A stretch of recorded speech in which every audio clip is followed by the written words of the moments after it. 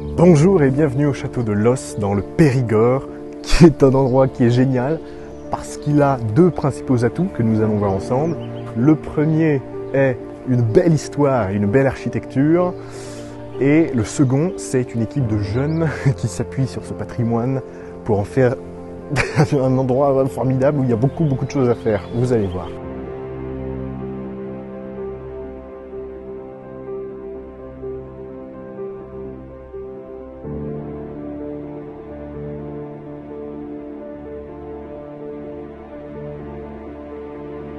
Le style de cet endroit est principalement Renaissance, même si il a beaucoup évolué euh, pendant son histoire. Il y a eu des parties qui ont été rasées, un donjon notamment, euh, des tours qui ont été abattues, euh, des, parties, des granges qui ont été rajoutées, 19e, 20e. Mais l'architecture et l'esprit global, c'est tout de même la Renaissance.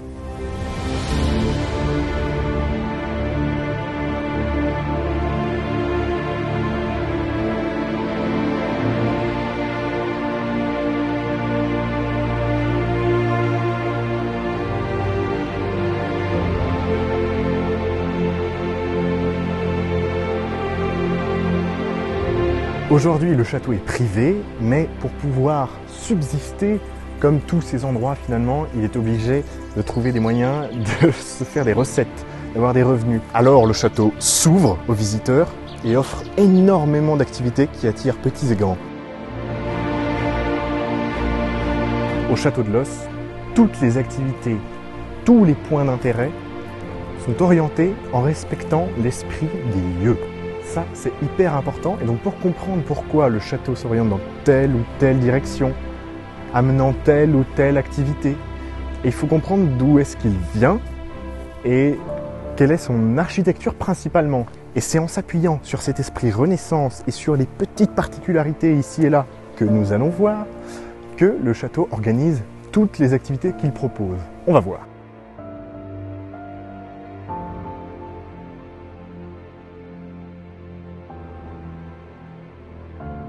Ici, par exemple, vous voyez, on est sous une tonnelle de glycine. Pourquoi cette forme? Eh bien parce que là où on est, il y avait une chapelle. Alors ils ont construit cette glycine pour respecter l'esprit des lieux. Là, vous avez les buis qui sont taillés comme ça parce que ce sont des créneaux. Ici, c'était un grand mur. Avant, il y avait un grand mur d'enceinte beaucoup plus haut et donc on en fait des créneaux. Là, derrière moi, dans la petite tour, il y a quelque chose de très amusant.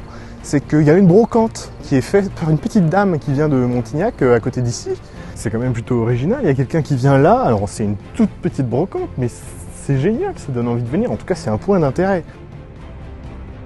Là, on arrive derrière le logis et on trouve quelque chose qui est encore une fois incroyable et qui a un, potentiel énorme. C'est cette grande terrasse. Alors, il y a beaucoup de projets pour cette terrasse. En fait, on est au bord de la Vézère. On est même au-dessus, puisque l'eau à grignoter un petit peu dans la falaise, mais au-dessus de la rivière, vraiment. On peut imaginer plein de choses ici, des cocktails, des concerts, euh, des, euh, des, artistes qui, font de la peinture, parce que c'est quand même plutôt joli. Moi, j'aimerais bien voir un concert ici.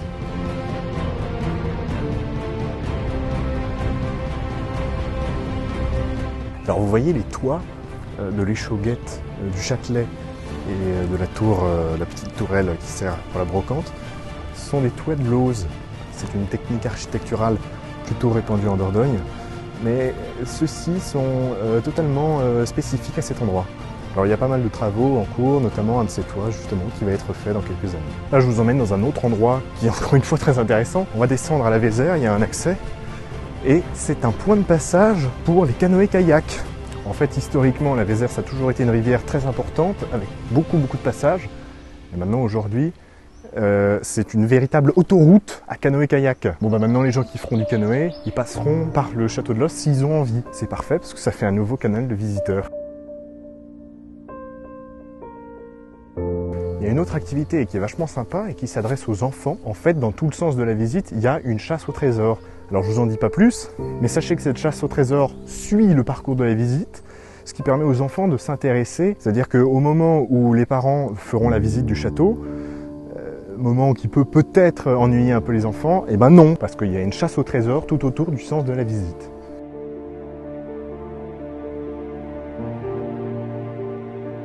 Le gestionnaire m'a expliqué que, en fait, le château de Los, ce n'est qu'une suite de petits coins et de recoins et de petits endroits distincts. Et moi, ce que j'en dis, c'est que eh ben, chacun aura son endroit préféré au château de Los.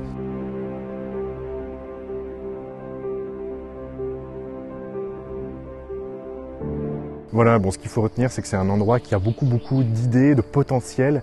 Et encore, je ne vous ai pas parlé des écuries, de la salle du capitaine de tout un tas d'autres endroits euh, qui offrent euh, plein d'activités qui ouvriront à l'avenir. Moi, ce qui m'a particulièrement touché, c'est que j'ai vu vraiment une équipe de jeunes euh, passionnés, passionnés. Les mecs, ils sont calés, ils ont mille idées à la minute.